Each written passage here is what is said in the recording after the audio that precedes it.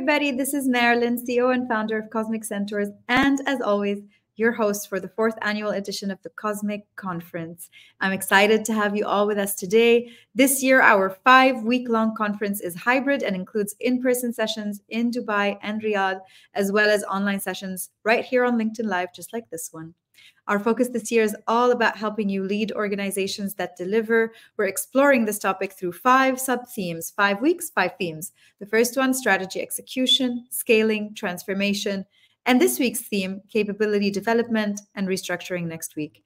From October 6th till October 11th, we are joined by thought leaders and academics who share their insights, knowledge, and perspectives for a total of 11 online sessions and five in person events, all of which are free to attend we're often asked why, and the reason is we measure our impact by how many people we help and how many people we learn with, not what revenue we make or what we sold to whom. And that's why our content is always free to watch and attend. But recently, someone asked us how they could thank us for all of this work. So we had to think about it. Now we have an answer. You can donate to our Cosmic Centaurs Fund, dedicating to supporting women re enter the workforce or if you have time to spare, 15 minutes to be precise, you can take our Future of Teams survey in partnership with Dr. Connie Hadley from Boston University, all about understanding what makes people engaged and happy at work. As I mentioned, this week we're kicking off the fourth week of the conference, and our theme is capability development.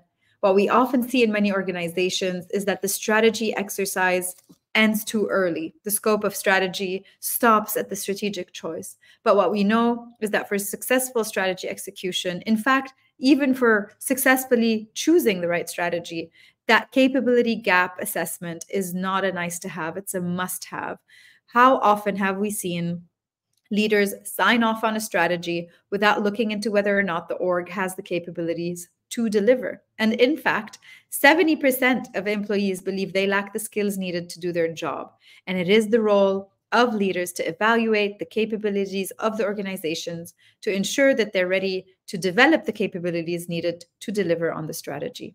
We will be unpacking this and more with our guests this week. Today with Soussane, later this week with Dr. Christian Muek, and then on Friday for our fourth in person event in partnership with Crayon where we will be discussing how to bridge the capability gap. Before we begin, begin, show us some love, give this video a like, maybe tag someone who you think might enjoy it. And as always, be generous with your comments and your questions. Soussane and I will try our best to get through those before the session ends. Today's guest is Soussane Chartouny, Senior Director, EMEA LATAM Field and Channel Marketing at Palo Alto Networks. She is experienced in developing go-to-market strategies using data and analytics and execution to meet the business goals and results. She's passionate about customers, technology, and people, and is an advocate of a growth mindset and collaborative leadership. Sue, we are thrilled to have you with us today. Thank you so much for joining us. Thank you, Marilyn. I'm very excited to be here today.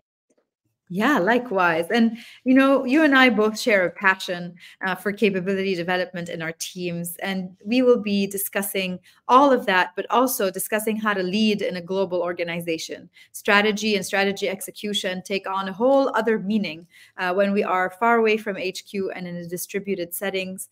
Um, global organizations are, of course, by nature distributed, and leading those teams also comes with its own challenges.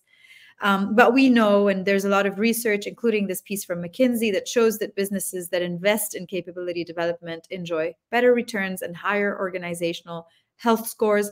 There are many ways to develop the capabilities and skills of your teams, from creating whole new departments, outsourcing a capability, investing into a structured L&D approach, or even internal knowledge sharing initiatives like mentorship. And Sue, I asked you on here because you are one of those leaders who is so intentional and invested in developing the capabilities of your team. Um, and in our work together over the last few years, we've done this in many, many different ways, from hands-on change management to skills development. We'll share more about that um, over the next 40 minutes or so. But let's get this started. I think my first question to you, when when we were preparing for this, um, we counted the number of countries that your team oversees. So within the EMEA and LATAM scope, Um, your team serves over 150 countries across many, many different regions, languages, you know, with all the complexity. And the added complexity is that you don't operate out of the home country or the country where HQ is, uh, which is always something when it comes to global organizations. So, my first question really is how do we go from understanding the overarching global strategy in order to localize it and meet the specific needs of the regions that we oversee? I think that's a first really important step before we even get to capabilities to talk about the strategy piece. Thanks, Marilyn. I guess the first thing, and I say it smiling, is that first you have to read it, read the strategy of the global company um, a lot of time when it's communicated to you, you have like the summary, what we're trying to achieve, and then how we're going to measure it. It's important to ask about the details of the strategy and to read what got to that point. Uh, most of the companies would share that, the leaders, and if they're not able share, to share the full document, you can ask the question. I think that it starts with me. I try to understand what the strategy is about, why it was chosen, what are we trying to achieve, and then try to do the, map, the mapping to the region that I'm responsible for with my team. First thing, so yes, understand. So the second thing is to actually communicate it to the team and to the different stakeholders that you have to be able to define the strategic priorities for the regions that you're responsible for aligned to the global strategy. Um, which takes me back to if you don't understand it, you can't communicate it well. Um, so working with the different stakeholders, depending on the function that you're in, I'm in marketing, of course. So I need to work with the business uh, leaders or the go-to-market leaders to discuss the global strategy and then um, discuss the market nuances that we have and how can we actually adapt or adopt this strategy to the regions that we're responsible for.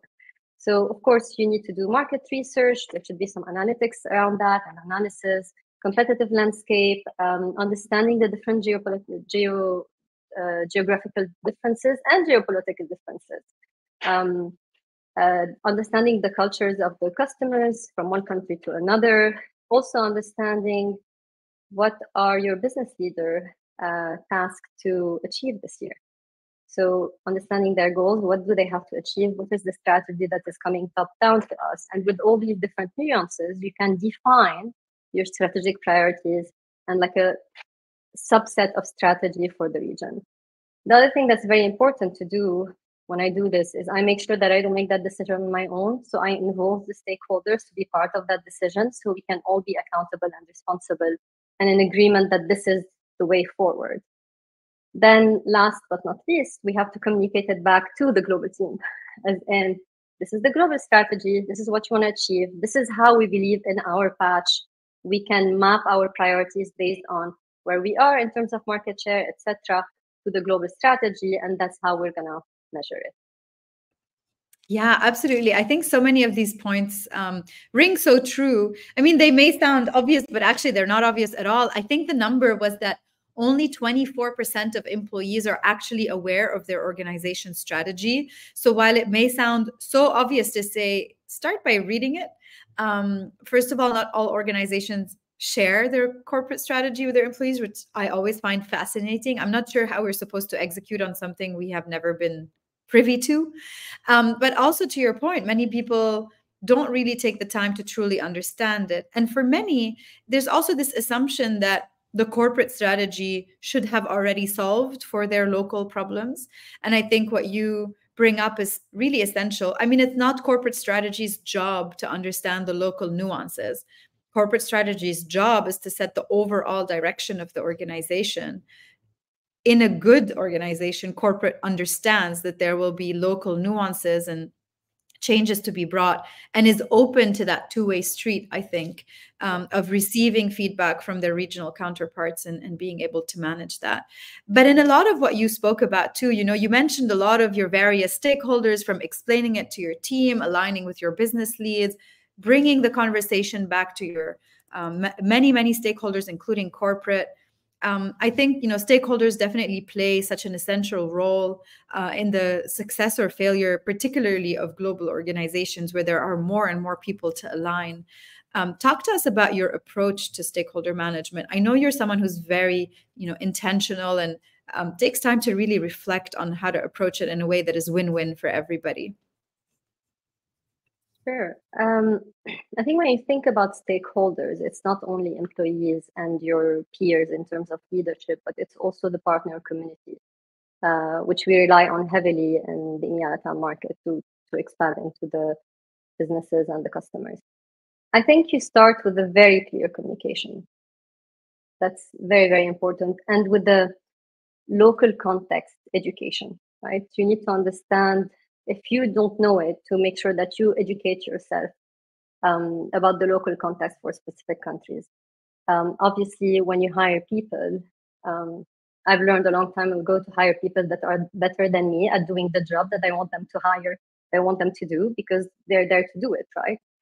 So a lot of them would know better about the cultural differences and what you need for this country. So here, communication, understanding the context, understanding what are the goals of the different stakeholders and what would make them successful. And then sharing your own goals to see how we can map that. And most of the time, like I've been lucky in an organization where these goals are already aligned, but if it's not, it's a good discussion to figure out like how can we resolve this? How can I make you successful and be successful? But also how to go back to the global team and say, hey, this is not aligned. I can't su- support the business if I need to move in a direction. And it's okay to be able to go back to other stakeholders and discuss this because you have to set expectation early on and you have to raise the flag to ensure that you're successful throughout the year. Um, involving them in the decision making process is very, very important so they feel that we're building this together. Uh, you mentioned that I care a lot about um, making sure that's a win win situation. But the point is, like, you can't win on your own in your organization, especially global organization Uh, winning is collective. So it also doesn't matter if you win as your team, but the rest of the team or other other departments are failing because we fail as an organization. So you have to put yourself last. You have to put the organization first and the team first, and you will come through that at the end. Um, I think uh, when you do all this and you try to add value and build this kind of communication with the different stakeholders, that also helps you develop better relationship and trust and that's the foundation for everything right? Um, people are not gonna work with you if they don't trust you. You you won't be able to be very collaborative and to move fast and agile if there is no um, a base for trust and collaboration uh, between teams. Um, i think when i talk think about stakeholders i also like to make sure that i keep them up to date about the strategic goals that we've defined on the long term and then break the problem into smaller pieces, right? Like, what are we going to, if this is the long term objective, how are we going to achieve it? And then make sure there's a regular cadence to communicate that and to discuss what's working, what's not working. Very important success and failures because we learn much more from failures than successes. Um, the other thing in terms of stakeholders, depending on the situation, sometimes you don't have the right resources to do the job that is required to achieve that mm-hmm. strategy. So looking into do we need to reshuffle a bit the organization, add additional responsibilities to some people, or hire new people with specific capabilities to cover that patch. This is very important. Um, I think what's so brilliant about what you're saying, again, some really great fundamentals there, is starting from a place of knowing that we all succeed together. And we all, no matter, even if it doesn't look like that, actually, we should all want the same thing. Oftentimes, we'll find leaders forget that they start to um, you know disagree or silo away from each other. Uh, but in fact the success of the company is their own success. And i think it's really you know a beautiful mantra to actually remember that that's what we're all working towards. And then i think what is really beautiful about how you do it and again you might take this for granted but i don't think a lot of people do um, do it this way is that you start from a place of giving. You start from a place of empathy and understanding uh, and relationship building. And in the end, it is those relationships that um, allow an organization at scale to fail or succeed. Yes, we have assets and we have competitive advantage and we have a lot of things, but we all know that if the humans refuse to collaborate, nothing is going to happen. Um, and you come from that place of giving. And I think um, one really great point that you mentioned, and I know for having known you for a few years that it's something you're very disciplined about. And it wasn't part of our prep, but since you mentioned it, I want to um, have you talk over this point just a little bit. You are incredibly structured at managing your cadence. In fact, that is something that you review almost on a quarterly quarterly basis, whether it's your own internal team cadence or it's your cadence with the other stakeholders within the organization or your partners that you um, that you want to make sure that you engage properly. Just talk to us a little bit about that cadence piece and why it is an essential element of your success in that in that approach. That's really funny because I'm actually not organized at all in my personal life. I like to keep my personal hours completely spontaneous and then free. Uh, and I guess because I know that I have that tendency to let things go, that I put a much stricter cadence on myself to ensure that I adopt different structure in the workspace. Um, I learned it from many leaders. I, I'm someone who's very curious. I'm someone who observe a lot and is constantly on the pursuit of learning and then to do to become a better human being, but also better at my job and ensure that my team also get better. Um, so multiple leaders, I've seen how they've evolved. One of them actually is my husband, who has a management operational rhythm, who's a very strong sales leader. And then uh, I learned that tactic from him is that like you just define what are the key conversations and key measurement um, and the, the measurement reporting uh, meetings that need to happen during a quarter that if you only do this, you, you're definitely successful and you have done all the right conversation. That also includes an exercise of stakeholder mapping. Who are the key stakeholders I need to connect to? How often? And the other thing is like, what's the value that I'm bringing into these meetings? It's not about just, hey, I need to connect with you. Let's set up a weekly meeting, and then I have nothing to add, know, like to share. So making sure that there's a clear agenda. It really starts with just building that structure, and then if I know what I want to achieve, and who are the people I need to connect with, and what's the outcome and the output that I need to deliver in my role and for these stakeholders, then I, this is how I define usually my my uh, cadence. I also include in my calendar the time to write content, to respond to emails, um, to review certain things, because obviously my calendar controls my life outside the weekend. That's how I do it yeah i think there's discipline will set you free and uh, you you know you're very yeah. conscious of managing that discipline um, you know another one of your key stakeholders and you did mention them earlier and now we want to deep dive into the heart of the topic is obviously your team members and the people who report into you uh, you know we said earlier that 70% of employees don't think they have the skills needed to do their job um, but you're also someone and and we've been brought to do a number of missions together, helping develop the capabilities of your team, whether it's improving processes and ways of working to developing new skills.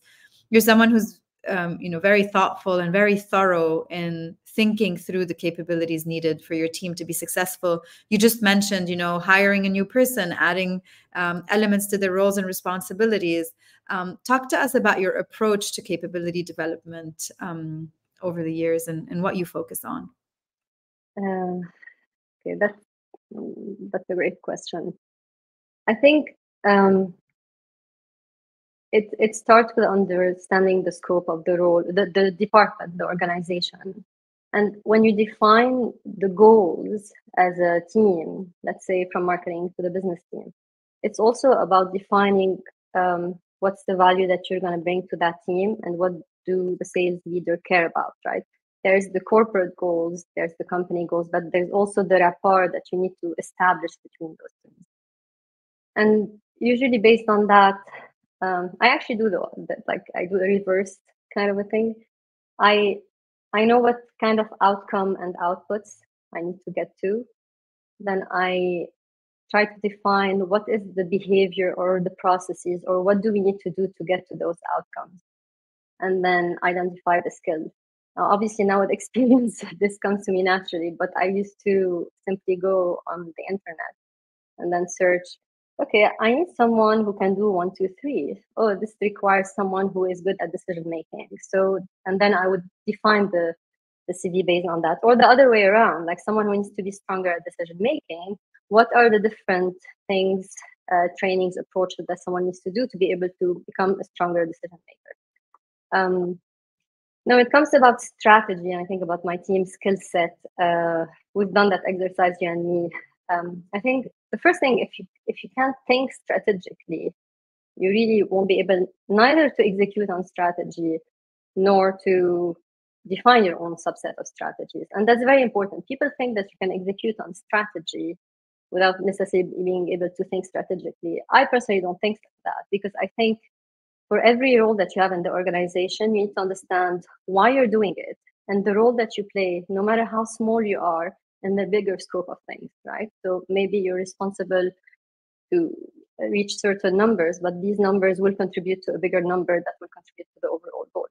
And this is very important for me. So from the smallest uh, role to the biggest role, you need to be able to have that strategic thinking.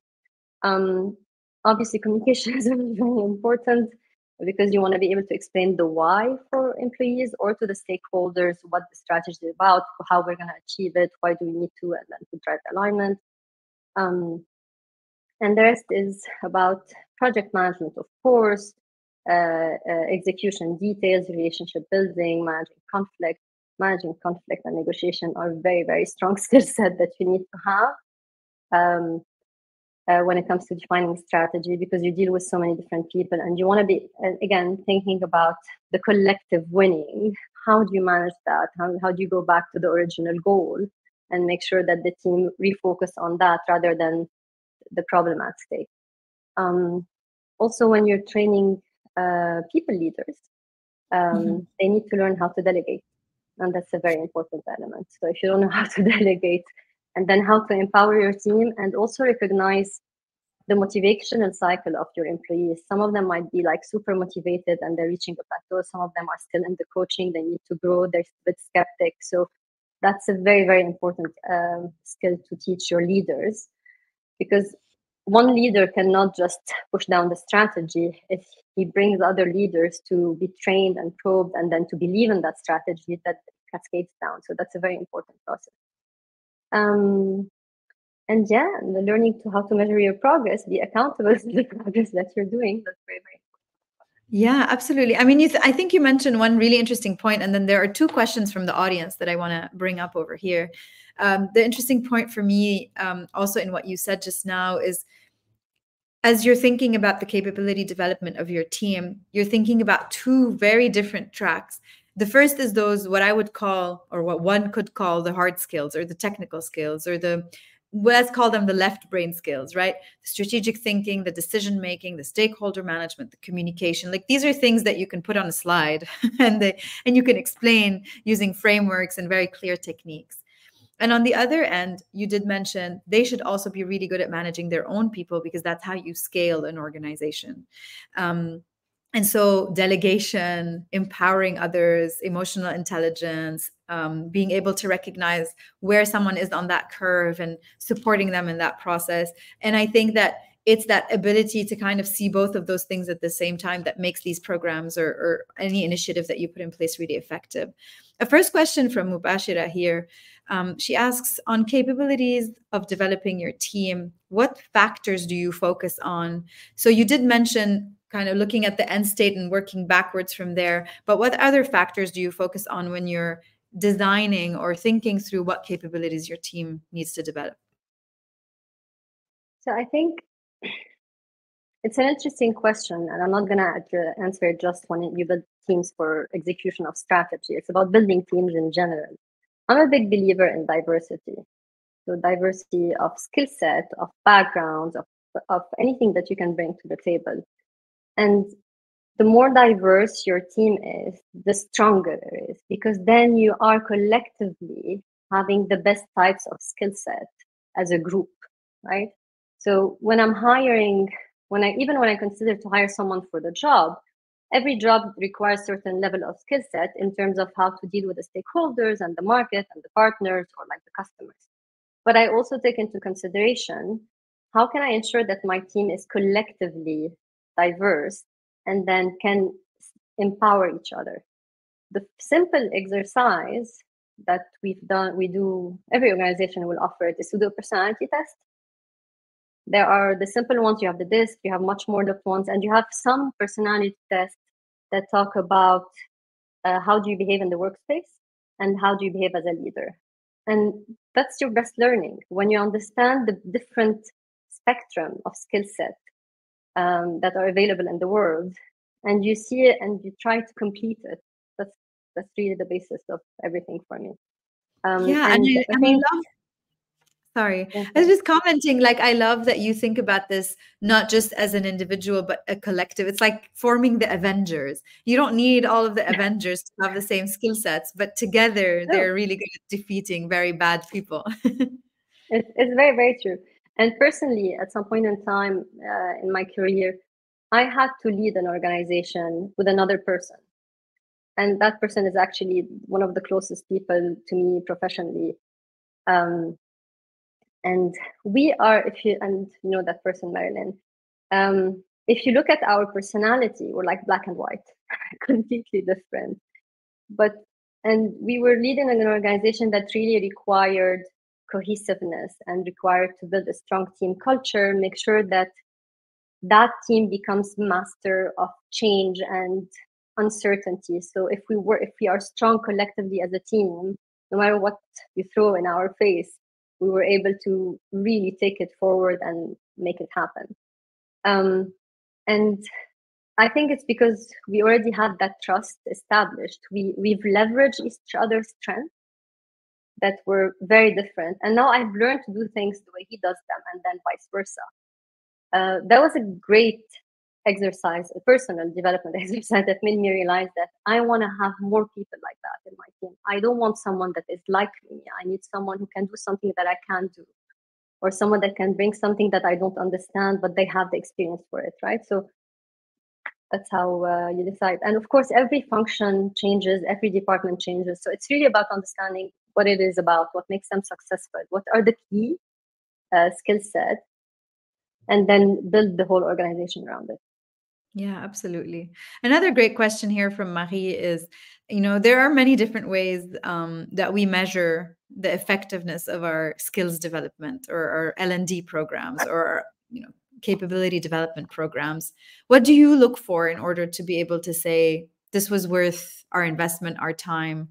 Uh, I can see that there are good outcomes here. What are you looking to see when, after these kind of uh, efforts?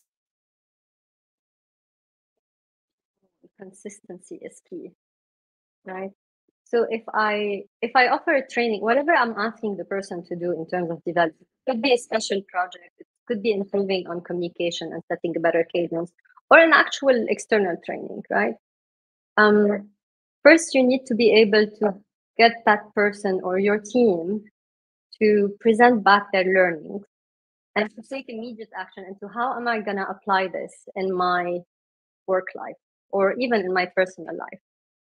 And then make them commit to it to a wider audience. So to the rest of the team moving forward i'm going to do this. This is my new project. I'm going to push for that.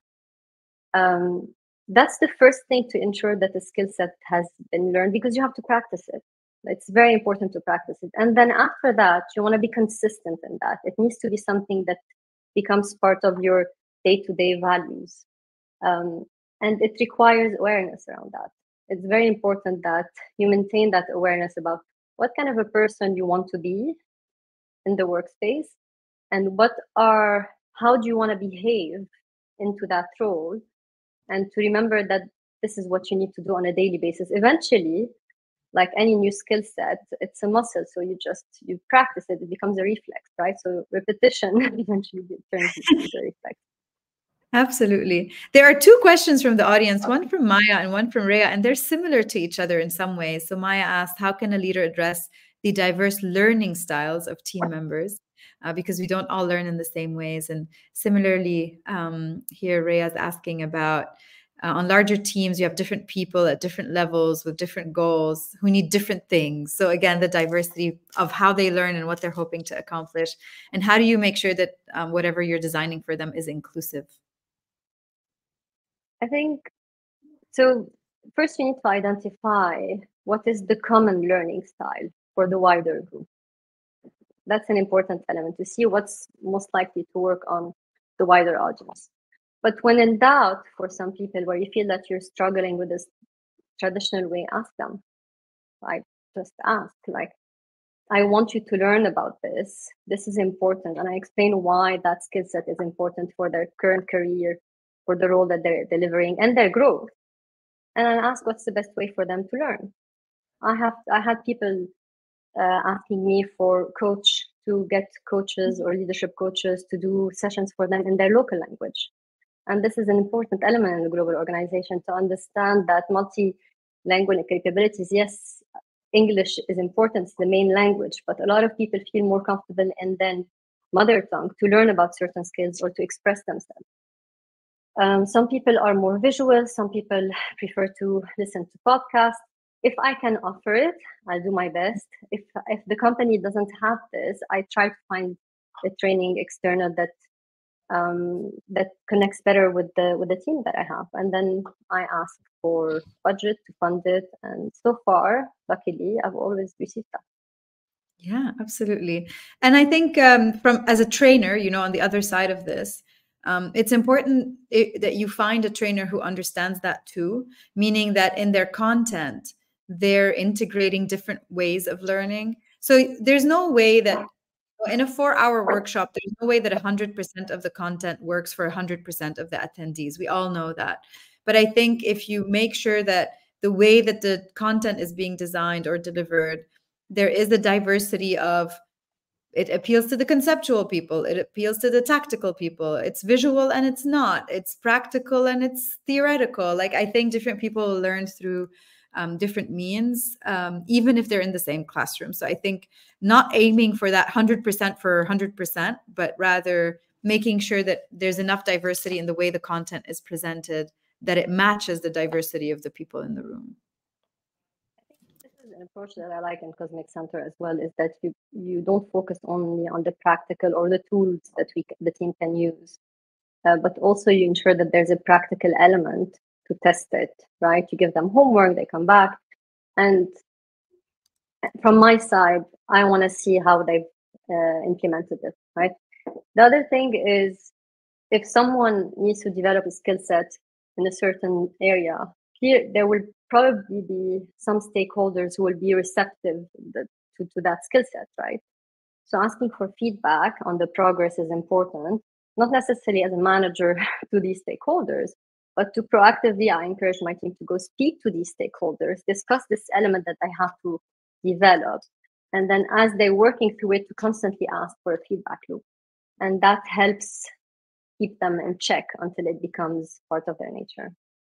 Yeah. Before we move on to the strategy execution piece, one last question from the audience that I think it's relevant to go over here, um, which is um, about the fact that with so much of the workforce being remote, um, it gets harder and harder to engage everyone at the same level. And I think in a in a global company, people are remote even from before the pandemic. Like it's not a new thing. It's not that yeah. suddenly we are now remote. And so there's a lot to learn from that. Uh, but how do you how do you think about engaging people when you're on a distributed team? Well, uh, that was a big thing for us uh, during COVID, and you worked with me on that, Marilyn. Um, well, there are different elements. Communication, transparent sharing is very, very important, right? Making sure that you reach out to people, first defining the communication means, right? We use emails, we use Slack, we use uh, Google, whatever you're going to use, define and define the channels that are there to communicate what exactly and make sure that your team is accountable on that. Like there's a way to make sure, like I know, I love, I love WhatsApp, not for business. like you can do, you have the delivered, you see that it's been read, or like now in Slack or other tools, you can ask your team to do a thumbs up to make sure that it was received. So first is really ensuring that there's a clear communication, the channels are identified, and everybody understands how to use them. That's very, very important. You need to be transparent. You need to ensure that you have regular updates and feedback. You want your team to provide feedback. And then if you notice that most of the time there's one or two people who never speak up, reach out to them and ask and make sure that they understand. Um, whether you as a leader or your people leaders, it, this is very important. Um, I think you want to be able also to foster inclusivity uh, in that one. So you want to ask for people in a wider group about um, what do you think of that? This is the, the new way forward. Are you all on board? Where are your challenges? Where are your concerns? Do you believe you can be successful or not? So just encourage them to be more outspoken before they just go and run in execution mode. Um, that's very important. The other thing that I think helps a lot is how, and this is a skill set, defining and cascading the goals and the expectation to the different teams. Because like a global role or a theater role is not a goal, is not necessarily the same goal that every person needs to have. So how to um, dissect these goals into smaller goals and distribute them to the different teams based on their function or how they can what they need to achieve is very very important and explaining it to them so that helps a lot in the distribution team provide them with the tools and be consistent in measuring the results all across. So it's not like i have a team that measures in a way and a team that measures in a different way. That also will encourage collaboration. And then when you do like business reviews or like a retrospective or uh, bi-weekly reviews there's a consistent way of how we communicate the progress and the result that brings people um, more together into that. Um, yeah I think you're you're and, kind of also this answer is taking us to uh, yeah. Sorry, you wanted to add something. I just wanted to add another thing. I think um, you need to show trust to your team, and you want to encourage innovation like in distributed teams, it's very, very important to tell them that I trust you because I know that I've hired the best. I know that these are your capabilities that you're going to do this. I'm giving you that trust to achieve that. And you give them the trust to be able to be more innovative and allow failure when needed because this is how you get the best results actually when you allow people to, to, to fail at some point but then overachieve in other areas. And this is very, very important. When you don't have that culture of trust or what you stand for as a team, it will hinder communication, it will hinder result, it will create an overall atmosphere of energy, even sometimes on Zoom calls or like team calls where you feel that there is no cohesiveness. So working on that is very important. Another thing you have to reward and you have to recognize and you have to create team building activities. The culture is very, very important in distributed teams. I mean, I love everything you're saying because actually what you're saying is the fundamentals of building human relationships are no different and in the same way that you have to be intentional and disciplined about doing them in real life real life in the office in a shared space you also have to do that um, when you're distributed with the added layer of that extra trust and extra faith that everybody shows up wanting to do their best work every day. No one shows up to work wanting to fail. I mean, some people do, but for many, many different reasons that we're not going to go into. But mostly people just want to succeed. And and again, having that discipline, it goes back to your cadence piece as well. To not drop the ball on these things is how you keep people engaged, no matter where they're sitting. I think another piece that you know we're we're inching towards as well. Of course, this conference is all about strategy execution, and I think we've covered quite a bit of the good discipline behind strategy execution, from that goal cascading that you were just talking about, from um, the stakeholder engagement piece, the internal communications piece. You you already mentioned so many key elements of strategy execution. Um, are there any other aspects that you think are key to keep top of mind in that strategy execution piece? Uh, I think, yeah, I think risk management and communication of risk is very, very important. Um, and managing expectations. Uh, a lot of time when you take a strategy, even when we define it at an EMEA LATAM level, it might not work well for a particular country right? Because of different cultural nuances, because of something that's happening currently geopolitically, or because of maybe local policy. Um, I think being able to highlight those elements, to, un- to identify where it could work, where it doesn't work, and then relate it back to the leadership is a very, very important element when it comes to strategy execution. But also to come up with an alternative is because, like, otherwise, this is like you're just pushing back and not doing anything right? So you want to again think about the collective win so if that doesn't work what else can we do? Do you want to focus on something else versus that point until we're ready in that market to reach that next level? Um, so i'm trying to think if there's something else uh, so we talked about uh, yeah i mean we talked about the goal. Here Is that too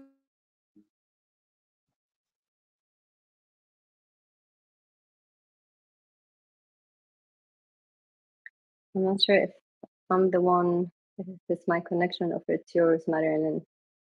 Um, I'm gonna keep talking in the meantime.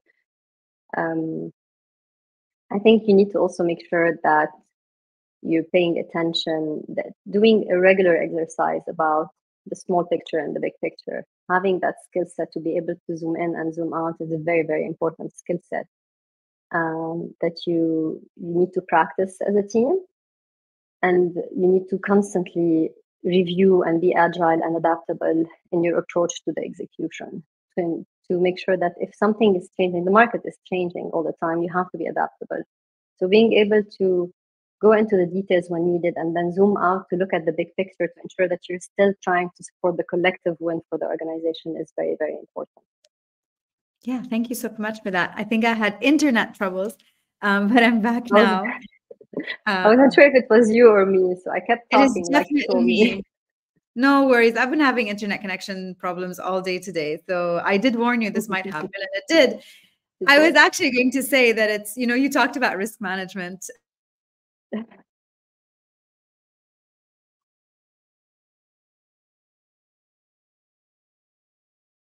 Yeah, I think you you froze again, Marilyn. I'm hoping that it's not me. You're back. I feel like I'm back, but I'm not.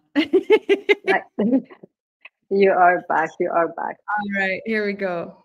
Sorry about that. I don't know what's been happening. I, I live in a very, you know, internet friendly place, but today it's just been one of those days. Um, yeah, no, I was just mentioning that you. T-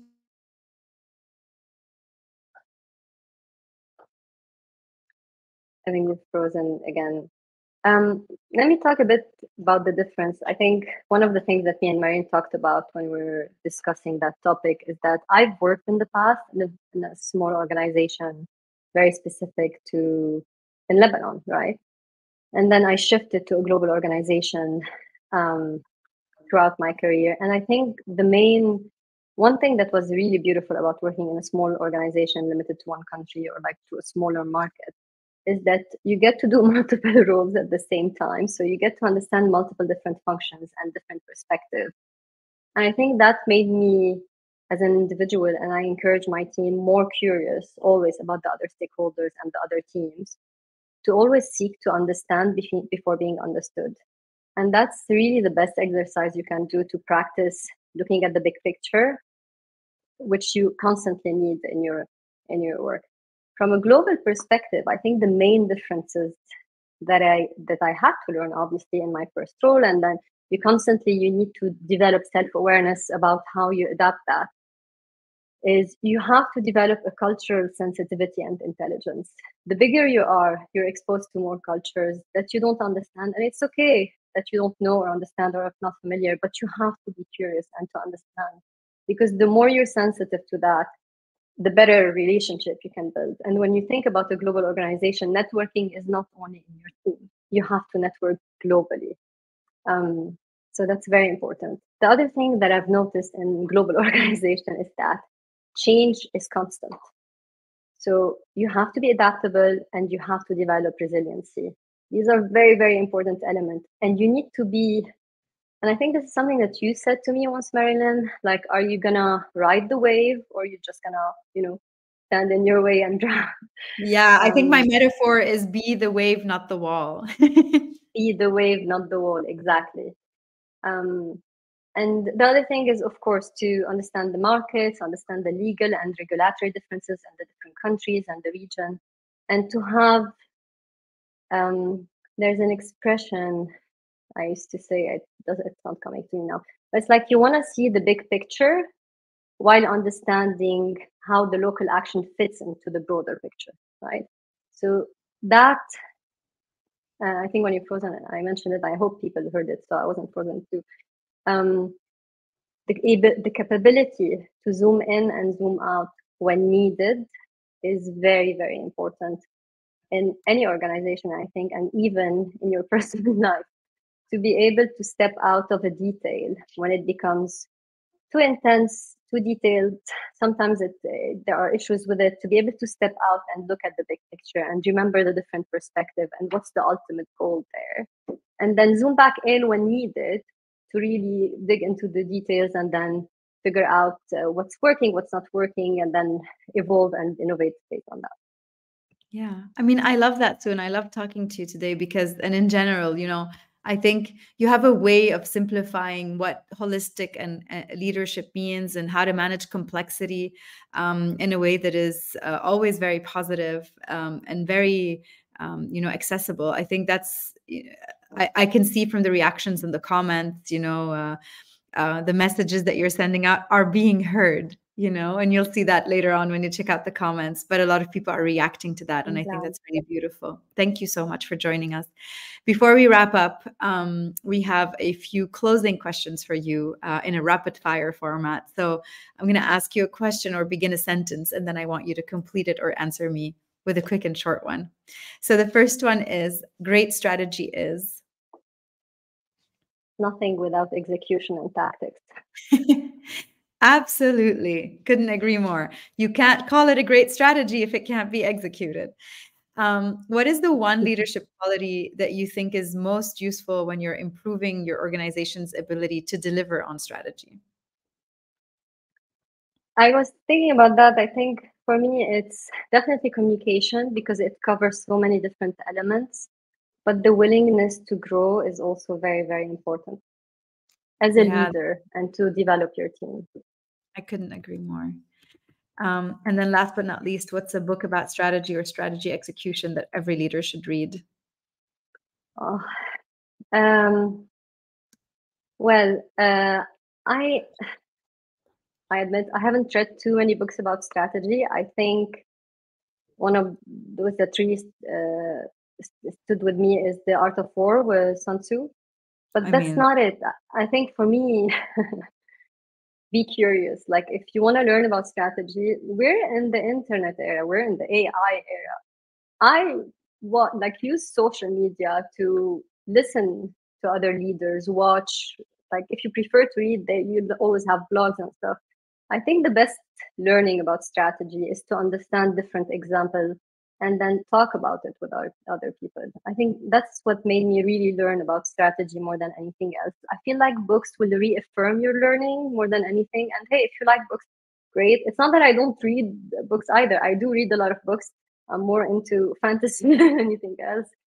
Uh, but um, I think the best way, if you want to learn about strategy, find a leader that you like in your company or somewhere else go watch what they're talking about and find someone you trust and then discuss the strategy with them. Because the more you talk to people with different perspective the better the bigger picture you're gonna get and then you learn more about how to develop strategy and different elements. Yeah i'm i i really understand what you're saying. I think i've learned most of what i know about strategy through other leaders and other great thinkers and then the books and the frameworks and the tools are there to help solidify that learning and maybe give it a yeah. name or a framework or something that's easy to remember um, but uh, strategy and action is is always much more interesting uh, there are a couple more questions in the audience from okay. Noor, from Mel, and maybe a few more, but I'm not sure that we have time to cover them today, but um, what we can do is we'll go ahead and I'll tag you, Sue, on some of these, and maybe you can answer them in the comments. Um. With that, our time together today is coming to an end. But before we go, thank you again so much for your valuable insights today, Sue. It was lovely to have you with us. Thank you, Marilyn. Thank you for inviting me. And then, uh, yeah, hopefully, till next time. Yeah, absolutely. And a great big thanks to all of our attendees as well for joining us, for commenting. You couldn't see all of it, but there was plenty of action in the comments. Uh, the video will continue to be available on my page. We'll post it later on YouTube and on our website if you'd like to rewatch it or send it to somebody. All of our sessions are, as I mentioned, free to attend. But if you found this session valuable and you want to give back, you can give back in one of two ways. One is you can donate to our Cosmic Centaurs Fund, dedicated to supporting women re enter the workforce or by taking, if you have a few minutes to spare, our Future of Teams survey. Both links are in the comments. Um, and of course, as always, you can go on our website, subscribe to our newsletter, and make sure you don't miss out on our upcoming uh, sessions as part of the conference and beyond. Our next session, in fact, this week uh, we'll be with Dr. Christian Mueck, and we'll be speaking about leading the reskilling revolution right here on LinkedIn Live on Wednesday, November 1st at 5 p.m. Thank you again, all, for being with us, and we hope to see you there.